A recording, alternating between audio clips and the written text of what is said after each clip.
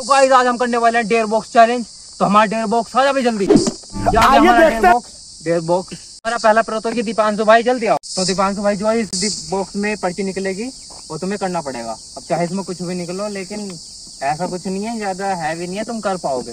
तो दीपांशु भाई अब निकाल ले इसमें से पर्ची तो निकालो जल्दी दीपांशु भाई। खाली ऐसा तो कुछ रोल रहते हैं। तो अब हम इसमें देखेंगे get a slap on your cheek Divanshu भाई का चैलेंज है get a slap on your cheek यानी कि अपने गाल पर ये थप्पड़ लगाएँगे खुद। तो दिवांशु भाई आपका चैलेंज शुरू होता है करो स्टार्ट जल्दी से। सच में ही मारना पड़ेगा। मज़ाक।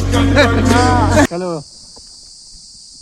ऐसे नहीं ऐसे ऐसे तो अब इन्होंने हमारे साथ गेम खेला था अब हम इनके साथ गेम खेलेंगे। अभी अभी हम। ज़िंदा हैं। तो गाइस ब्लैंक है ब्लैंक कुछ नहीं है इसमें? या हमें तो बच गया। मज़ा तो हम बच चुके हैं तो। अब हम बुलाने वाले हैं अपने कैमरामैन को ईशान राउत को। तो हमारा नेक्स्ट प्रतियोगी ईशान और ये अब से भी हम डैर देंगे। तो ईशान जल्दी से निकाल।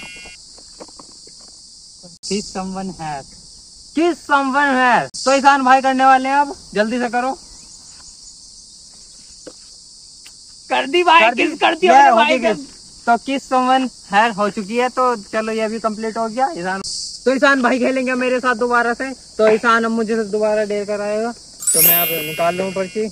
हरी मिर्च खानी पड़ेगी। तो गाइस मुझे हरी मिर्च खानी पड़ेगी तो मैं अब हरी मिर्च भी खा रहा हूँ। ये देखो हरी मिर्च। और ये मैंने नहीं रखती वीडियो मज़ा नहीं आ रहा। और भाई ने पूरी मिर्च खा ली है। तो तो भाई की अब जल रही है। तो गाइस मैंने पूरी हरी मिर्च खा ली और बहुत ही तीखी लग रही है। मुझे पानी पीना पड़ेगा बहुत ही।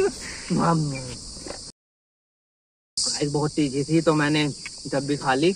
आप भी खाओ मज़े लो। तो हमने आँखों के लिए बहुत अच्छी होती है। प्रतियोगी को बुलाते हैं अपने दीपांशु भाई को। हमारे नेक्स्ट प्रतियोगी आगे आ चुके हैं तो फिर अब निकालते हैं नीम के पत्ते खाने पड़ेंगे।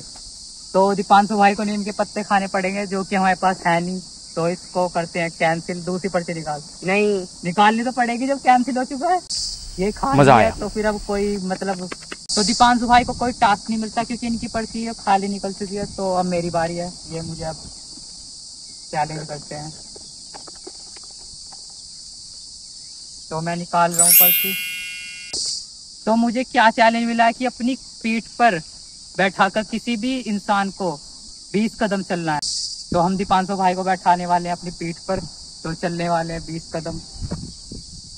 तो दीपांशु भाई की मौज आने वाली है। बंद करो। एक दो तीन चार पाँच, छह सात आठ नौ दस ग्यारह बारह तेरह चौदह पंद्रह सोलह सत्रह अठारह उन्नीस बीस। बीस। कदम हो चुके हैं। दीपांशु भाई में बहुत ज़्यादा वज़न है तो थोड़े थक जाते हैं। वज़न अब बीस कदम।